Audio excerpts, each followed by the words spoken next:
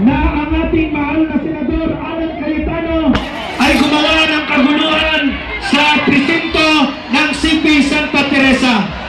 Ito po ay pawang kasinungalingan.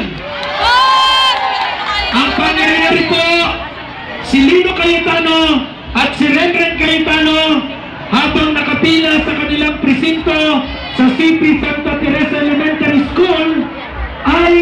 pinipilit pong paalisin ng mga kalalakihan na may ribbon na kulay blue sa mga kamay.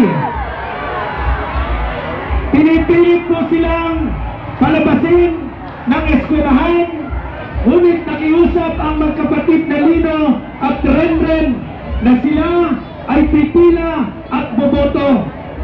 Nagkaroon po ng harassment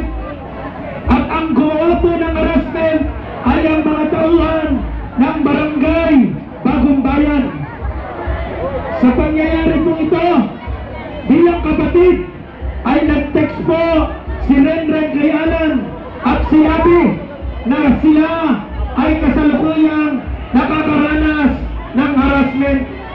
Dahil po dito, tumakbo si Senador Alan sa CP Santa Teresa upang tingnan ang kalagayan